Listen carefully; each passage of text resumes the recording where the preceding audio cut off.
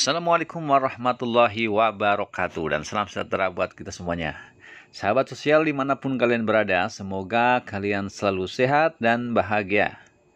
Pada kesempatan kali ini saya akan berbagi informasi tentang PKH, PPNT dan juga BST ya yang cair hari ini Siap-siap ya, cek ke ATM. Kemudian yang kedua, pencairan bansos akan dimulai pada jam berikut ya. Nanti kita akan sama-sama bahas. Dan kemudian yang ketiga, bantuan tambahan ya untuk KPM PKH ada tiga ya. Nanti juga kita akan bahas di sini. Namun sebelum itu teman-teman semuanya jangan lupa like, komen, dan subscribe. Kemudian tekan tanda loncengnya untuk selalu mendapatkan notifikasi berita dan tips-tips terkini dan bermanfaat lainnya secara gratis di sini. Karena channel ini akan selalu membahas bansos-bansos dari pemerintah dan tips-tips bermanfaat lainnya supaya kalian tidak ketinggalan berita. Dan langsung saja kita ke informasinya teman-teman. Dikutip dari laman Kemensos ya, Menteri Sosial Ibu Risma sudah memastikan pekan pertama Januari 2021 keluarga penerima manfaat sudah bisa menikmati bantuan sosial seperti yang diinstruksikan oleh Presiden Joko Widodo. Bansos-bansos tersebut antara lain adalah PKH, kemudian BPNT dan juga BST. Untuk keperluan itu Menteri Sosial Ibu Risma sampai menginstruksikan ya kepada jajarannya di Kementerian Sosial untuk bekerja non-stop.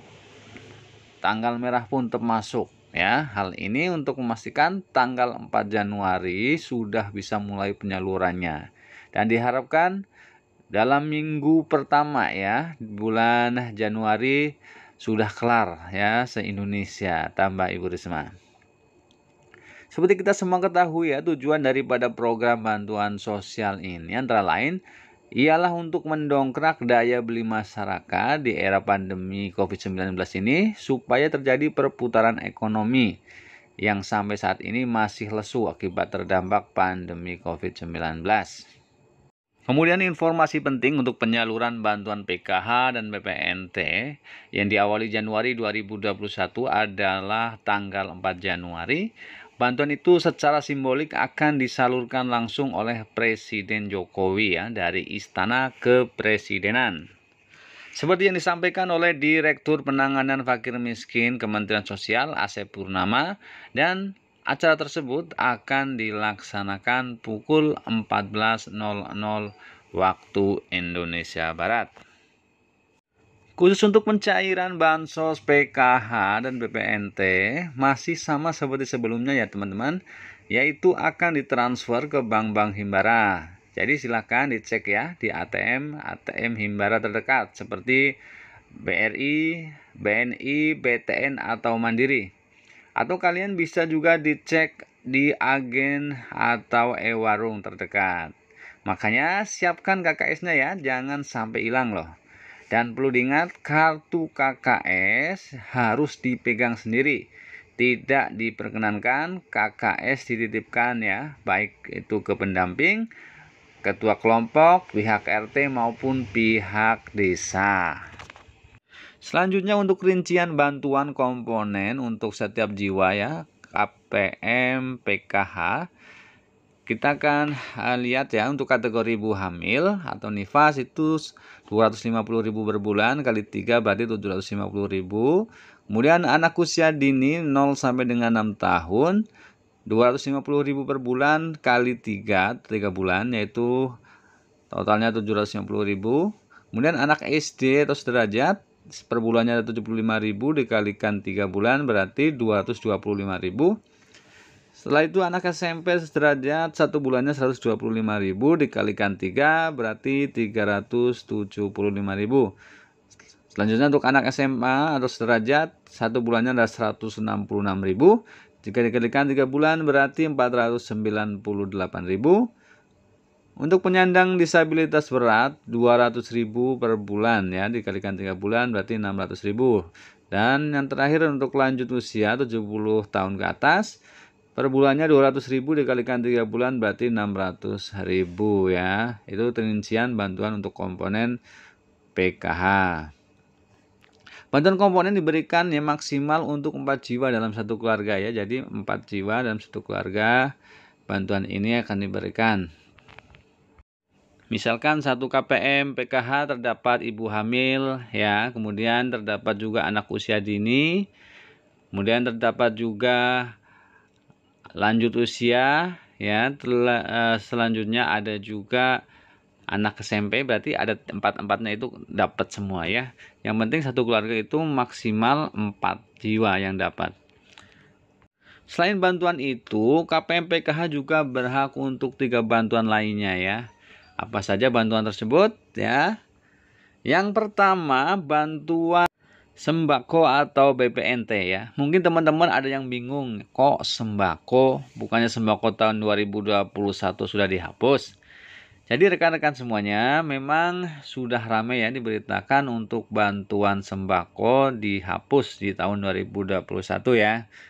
Jadi begini teman-teman, Bantuan sembako yang dihapus di tahun 2021 ini adalah bantuan sembako untuk penanganan COVID-19 atau bantuan corona ya, kalau orang bilang.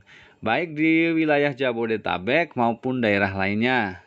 Namun, khusus untuk bantuan sembako untuk KPM PKH dan non PKH akan tetap dilanjut di tahun 2021.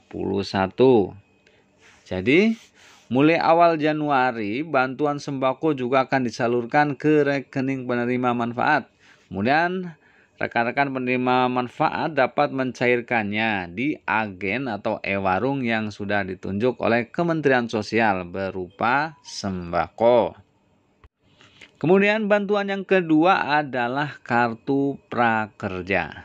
Jadi, apa itu kartu prakerja? Kartu prakerja adalah program pemerintah untuk biaya pelatihan dan insentif bagi para pekerja atau buruh yang dirumahkan karena COVID-19.